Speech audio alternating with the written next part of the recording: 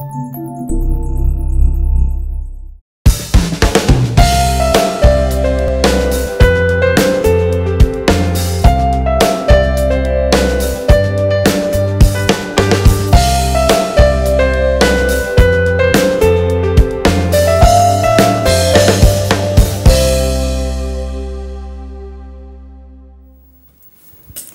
bienvenidos, muy bienvenidas una vez más aquí a su programa Mejor cada día. Estamos muy felices de tenerles en el espacio. Hoy tenemos algo muy interesante para compartir con ustedes. Vamos a hablar acerca de cómo conseguir un matrimonio de éxito, cómo hacer que funcione, cómo mejorarlo. Tema interesante, ¿verdad? Y lo vamos a hacer a través del compañerismo y la complementariedad en la pareja. Para hablarnos de ello tenemos con nosotros al profesor, escritor y muchas cosas más, Miguel Ángel Núñez. Él es doctor en teología y licenciado en filosofía y educación. Además, es orientador familiar con más de 20 años de experiencia junto con su esposa Mary. Muy bienvenido, Miguel Ángel. Un gusto estar en este programa.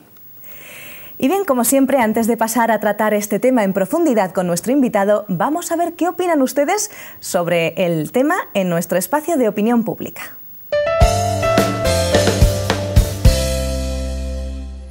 Pues el rol de la mujer es todo, en general. Trabajar dentro y fuera de la casa, la familia, el marido, todo en general. La mujer tiene que comprar, tiene que limpiar, tiene que lavar, tiene que planchar, tiene que cocinar, tiene que cuidar de los hijos, tiene que estar pendiente de todo lo que hay en la casa. Es la que lleva el pilar de la casa. Muy importante cuidar la casa, hacer la faena, eso es muy importante. Y hoy en día trabajan, por eso les digo que la mujer puede ser muy importante, claro. Pues el rol de la mujer es el de ocuparse de su familia y del hogar.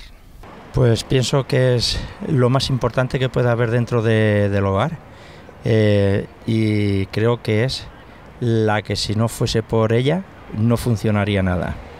El mínimo. El marido trabaja, ya da el jornal en la casa y con eso cree que lo tiene todo pagado. No maná. Pues el rol del hombre también, como decían los antiguos, dice el marido sale de casa a trabajar y la mujer se queda en casa. Entonces el, marido pues también es muy importante. Para mí es el mismo, tanto de la familia como del hogar. El hombre pues se preocupa más por eh, tener trabajo, llevar, también se preocupa, bueno, creo que cada vez está más integrado en, la educación, en, en preocuparse por, por, la familia, en colaborar un poco más en las faenas domésticas, está bien. Jamás en la vida. Y una mínima parte de, los hombres lo hacen, pero a rato, porque se vuelven locos enseguida, no lo aguantan. Eh, igual y mejor que la mujer, no, pero sí puede ocuparse de la casa. Sí. De hecho, yo tengo un caso en mi familia donde él se ocupa muy bien de los hijos, de la casa, trabaja, o sea, lo hace muy bien, mejor que una mujer. Igual posiblemente, mejor no. Los dos, tienen que mandar los dos porque tiene que haber una comunicación entre ambos y tiene que haber una relación entre ambos. El matrimonio tiene que ser dos en uno. Los dos, los dos. No quiero. El hombre es muy importante. Cuando manda el hombre, la mujer se calla. Y cuando la mujer chilla, pues el hombre se calla. Entonces los dos. Los dos, tiene que haber un consenso. Ninguno de los dos, tiene que ser una complementación. Eh, estar eh, los dos a, a la misma altura.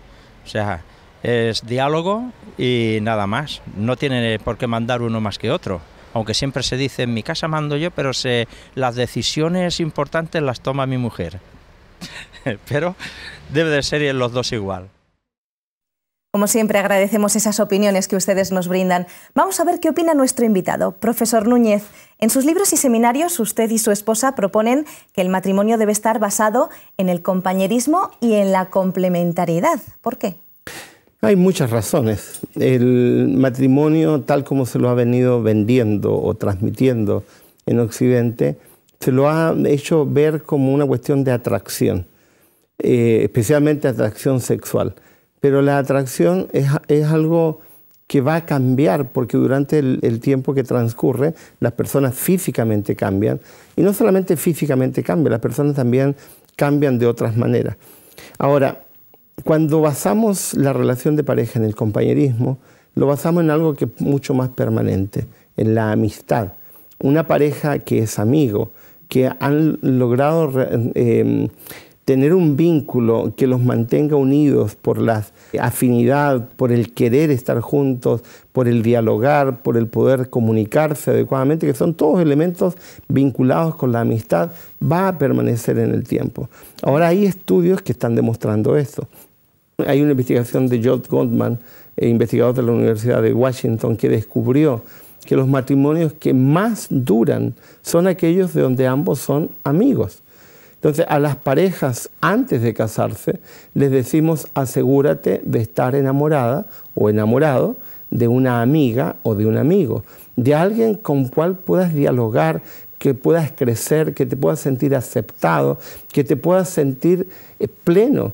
No se trata simplemente de atractivo. Evidentemente la atracción juega un rol, pero lo que perdura a largo plazo es finalmente la amistad y el compañerismo. Se dan casos, por ejemplo, de ancianos que llevan mucho tiempo juntos, que son amigos. Cuando uno de ellos fallece, el otro no dura mucho, porque le falta el, compañero, la compañera. El compañerismo es vital. Lamentablemente no hacemos suficiente énfasis en eso. Y hablamos de la complementariedad para eliminar el concepto de jerarquía. No hay jerarquías en el matrimonio. No es que el varón sea más importante que la mujer, sino que hablamos de complementos. Hablamos de vínculos complementarios donde el varón y la mujer se potencian mutuamente en función de las diferencias que tienen, no de las afinidades, sino de las diferencias, donde cada uno aporta a la relación aquello que el otro no tiene. Si uno es extrovertido, normalmente va a buscar a una mujer introvertida y viceversa, por poner un caso. Eh, pero la complementariedad también tiene que ver con otros factores. Si yo vengo de un hogar disfuncional, debería elegir a alguien que venga de un hogar funcional. En otras palabras, si mi hogar ha sido un caos, elegir a alguien cuyo hogar ha sido un caos significará que no va a haber complementación porque la otra persona no será capaz de ayudarme porque tendrá los mismos problemas míos. Por lo tanto, tengo que ser más inteligente como para poder ser capaz de elegir a alguien que sea mi complemento, alguien que me equilibre, alguien que aporte a, a la relación lo que no tengo de manera natural. Ahora, normalmente lo hacemos, nos enamoramos de la diferencia. En la psicología popular se dice los polos opuestos se atraen, precisamente porque son opuestos. Generalmente nos repelemos o rechazamos a alguien que se parezca a nosotros, precisamente porque no va a haber complementación. Ahora, lamentablemente en el transcurso de la relación nos olvidamos y nos olvidamos de la importancia de la complementación. Entonces, dos pilares básicos, compañerismo y complementación. Cuando esos dos pilares están presentes, hay muchas más posibilidades que el matrimonio se mantenga a largo plazo. Queremos un matrimonio de éxito, un matrimonio a largo plazo. Eh, socialmente lo cierto es que eh, a veces cuesta un poquito, el compañerismo tal vez no tanto, pero la complementariedad cuesta un poquito más. Eh, la mayoría de las religiones parecen dificultar la práctica de esta complementariedad, porque sitúan automáticamente al hombre por encima de la mujer. Ahora, no solamente es un problema religioso, también es una cuestión social. Eh, se cree que como el varón es más fuerte, entonces tiene que ser el macho alfa y tiene que ser el que guía, el que orienta, lo cual es absurdo. Esto es una relación de pareja. A mí me gusta mucho hacer énfasis en la palabra pareja. Si vamos a hablar de pareja, hablemos de parejos. Pero si, uno manda y otro obedece, deja de ser parejo y se convierte en disparejo, que es lo que pasa en muchos, en muchos grupos sociales. Ahora, lamentablemente, las religiones mal entendidas no ayudan mucho. Grupos musulmanes, grupos sintoístas en otro contexto, grupos cristianos, no ayudan, porque el concepto de esas religiones, incluyendo lamentablemente muchos cristianos, es que alguien tiene que mandar. Y yo dije, pero ¿por qué tiene que ser el varón? Entonces, si yo voy a, la perspectiva cristiana, por ejemplo, ¿por qué tiene que haber un hombre que tenga que ser el que tenga el patrocinio o el predominio de la inteligencia para poder decir yo soy el que mando, yo soy el que dirijo? Lo me parece absurdo. Cuando hay una relación de complementación, Aquí nadie manda, Aquí nos complementamos, aportamos y juntos llegamos a acuerdos donde decidimos por partes iguales cuál es la mejor opción, pero con respeto, no con esa situación de jerarquización donde finalmente a mí me parece una falta de respeto, una falta de respeto a la mujer. Hay habido eh, ocasiones donde he sido invitado a lugares donde hay matriarcado, que son los menos, donde son las mujeres las que quieren llevar la batuta. En ambos casos es un error. Aquí se trata de que dos parejas, o sea, dos personas, perdón, que han formado una pareja, toman la decisión de buscar lo que sea mejor, aportando sus características personales, individuales a la relación. Hay personas eh, que lo sacan incluso de la Biblia. Eh, hay textos eh, como, por ejemplo, ese que dice que el, hombre debe ser cabeza de la mujer, como Cristo lo es de la Iglesia. ese es un texto pésimamente malentendido.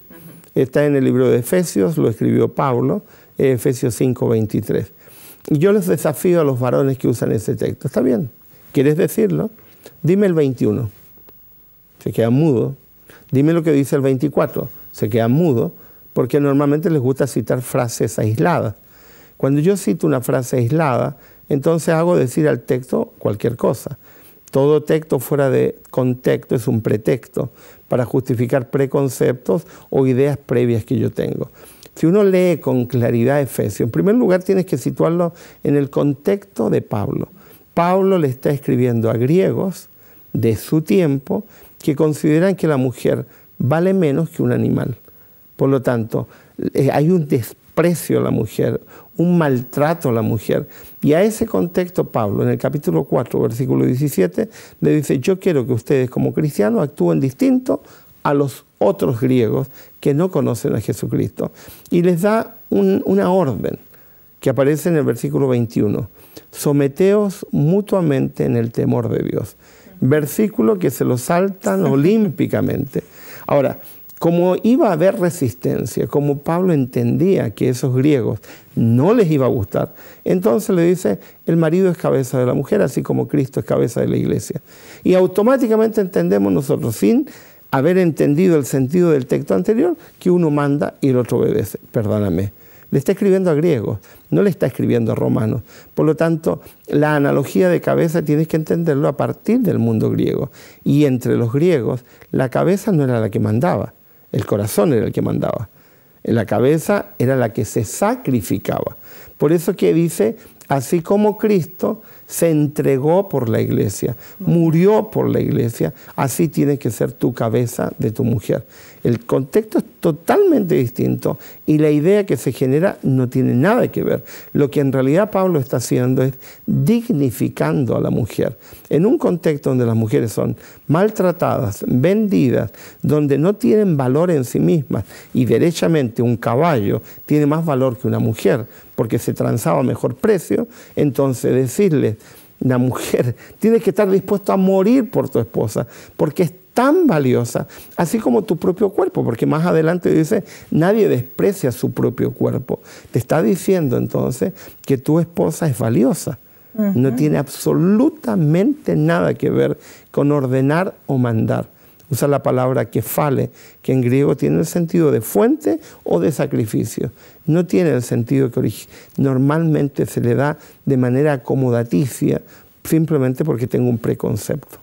La verdad es que es muy interesante, muy interesante lo que estamos aprendiendo en el programa de hoy. Hay otro texto también. El hombre fue creado primero, la mujer salió del hombre, la mujer fue también la que pecó primero para desequilibrar la balanza y estos textos también les sirven, pues eso, como esos, cuña. Esos textos son absurdos. No es que el texto sea absurdo, la interpretación que damos de esos textos. Cuando alguien me sale con eso, por ejemplo, la mujer fue creada segundo. Un momentito, le digo, ¿qué fueron creados antes que el varón? Los animales y las plantas. Entonces los animales y las plantas, de acuerdo a tu lógica, serían más importantes que el varón. Y tú tendrías que darle pleitesía, inclinar tu cabeza cuando pase un perro, cuando pase un caballo y a todas las plantas. Eso es absurdo. Lo que no entendemos es el texto. en, la literatura hebrea hay lo que se llama una narración en anillo.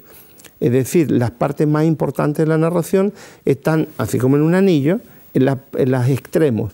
Y en la parte que es del anillo, está lo menos importante. ¿Por qué se hacía así? Porque el texto hebreo fue hecho para ser aprendido de memoria. La gente no leía.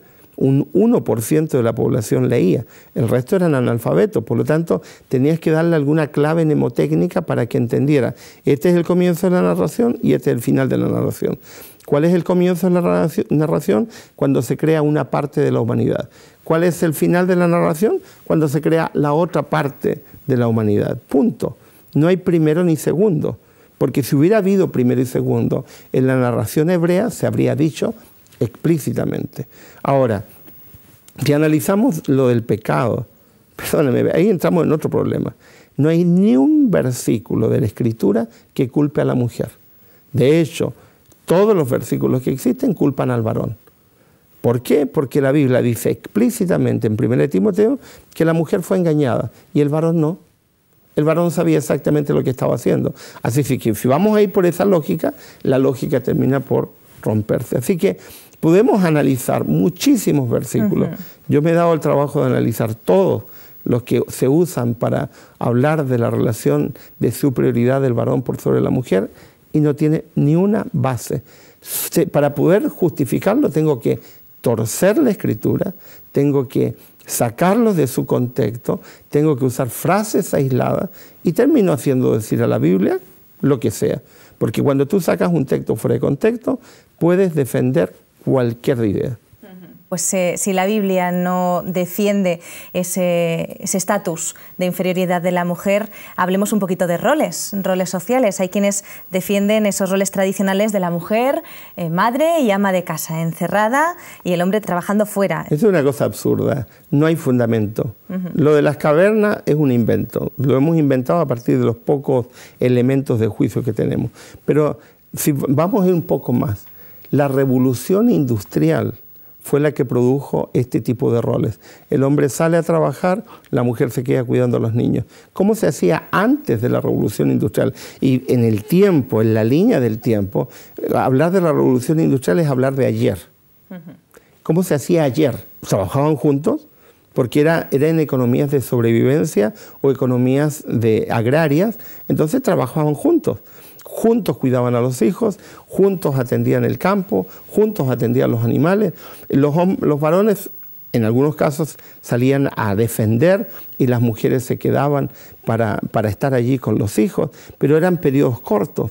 La mayoría del tiempo las actividades se hacían juntos, como suele hacerse todavía en localidades agrarias, donde los varones, no hay, no hay roles donde ambos están juntos, cuidando animales, cuidando a los niños, trabajando en el campo. La revolución industrial cambió todo eso, cambió, desvinculó. Después vinieron las crisis propias de la revolución industrial, entonces las mujeres salieron también a trabajar y se produjo el, el problema que estamos viviendo hoy día en las sociedades industrializadas, donde ambos trabajan y los hijos finalmente los termina criando alguien extraño a la pareja. Así que no usemos argumentos que ni siquiera históricamente tienen fundamento. Ahora, yo he sido invitado en algunos países a hablarle a comunidades matriarcales, donde tienes que decirle a algunas mujeres, no es tu rol mandar, tiene que ser igual. Como estamos acostumbrados a sociedades patriarcales, creemos que eso no existe y sí existen. Son menos, pero existen. ¿Qué es lo que enseñamos? Los roles son cuestiones de tipo estrictamente social. Lo hemos creado. ¿Qué, tenemos que hacer? Yo he estado en comunidades, por ejemplo, en la selva peruana, donde los que cuidan los niños son, los varones y las que trabajan en el campo son las mujeres. ¿Y por qué los varones cuidan a los niños? Porque es un trabajo mucho más arduo en las condiciones en que están, porque hay que transportarlos, porque hay que cuidarlos de, de animales, etc. Entonces se considera que es un trabajo que necesita mucho más energía y lo hace un varón. Así que es una cuestión de las circunstancias sociales. Ahora, lo que nosotros enseñamos es que el rol tiene que ver con talentos naturales y con dones. ¿Por qué tú tienes que cocinar porque eres mujer? ¿Por qué no cocina el que lo hace mejor? ¿Por qué tienes que administrar el dinero porque eres varón? ¿Por qué no lo administra el que lo hace mejor? Es decir, el que tenga el talento para hacerlo. No hay roles estáticos. Mira el mundo.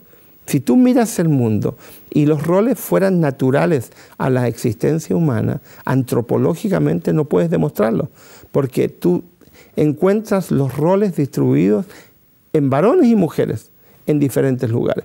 Tienes sociedades donde los varones son los que se hacen cargo de los niños y tienes otros lugares donde las mujeres se hacen cargo de los niños. Tienes lugares donde los que hacen la comida son los varones y, y las mujeres hacen otra actividad. Así que no hay una cosa estática, lo que hay son ideas estáticas. Nos quedamos fijos en cuestiones que a mí me gusta, que es lo que yo deseo, y no buscamos lo práctico.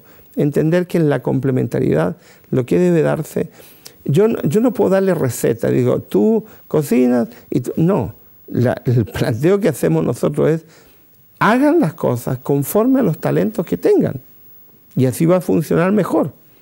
Yo conozco una pareja de amigos donde los niños los cría él. Él es enfermero, él, tiene un mejor trato, ella es abogada, no se le da lo de cuidar niños. ¿Por qué tiene que dársele porque es mujer? Es absurdo. No se le da. Y a él sí se le da. Se le da de una manera natural. Le sale de manera natural. De hecho, él es latinoamericano, ella es europea, y los que lo critican a él son los latinos. ¿Cómo se te ocurre? Pero eso es absurdo. Les funciona bien. ¿Por qué? Porque han sido lo suficientemente inteligentes desde el punto de vista emocional para entender que uno tiene más habilidades en, un área y el otro tiene más habilidades en otra área. Si todo el mundo aprendiera a funcionar de acuerdo a sus habilidades naturales, dejaríamos de competir. Muy, muy interesante. Otra opinión es que la mujer fue diseñada para tener hijos física y psicológicamente y el hombre no. Es un argumento que se utiliza para rebatir un poquito esta idea. Hay antropólogos que, han tirado por tierra eso. Lo que nosotros, Margaret Mead, por ejemplo, eh, eh, la Ruth Fisher y otros, que han tirado por tierra ese argumento. ¿Por qué? Porque los niños no necesitan madre solamente. Los niños necesitan padre y madre.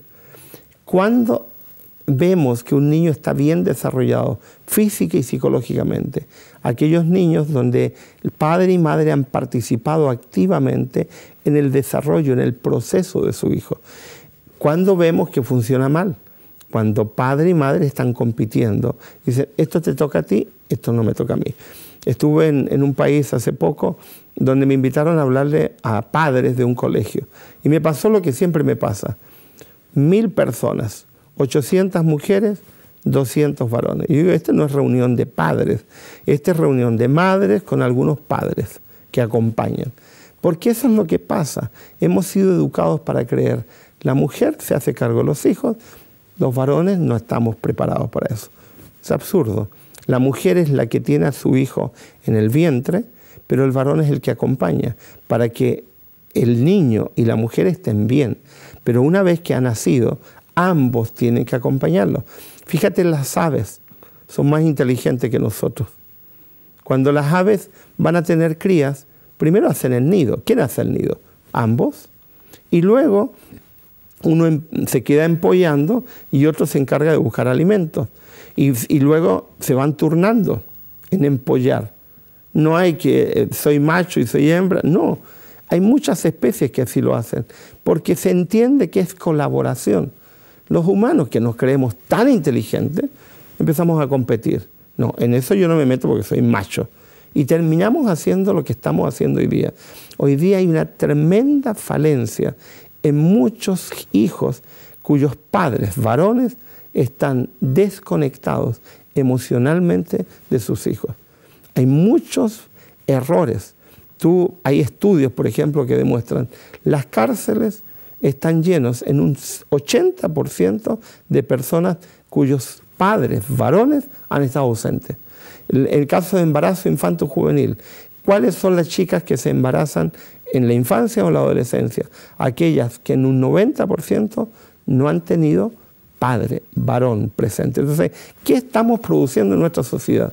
Varones ausentes porque no se comprometen, porque se les enseñó esos conceptos que son, perdónenme por, por el efecto y las evidencias, absurdos. El tiempo no nos da para más. Eh, sin duda podremos disfrutar de un matrimonio mucho más feliz y equilibrado si trabajamos en equipo. Muchas gracias por compartir sus ideas con nosotros, profesor Núñez. Un gusto. Bien, pues eh, vamos ahora a nuestro espacio de En pocas palabras. Ya saben, el resumen de los principales puntos del tema de hoy.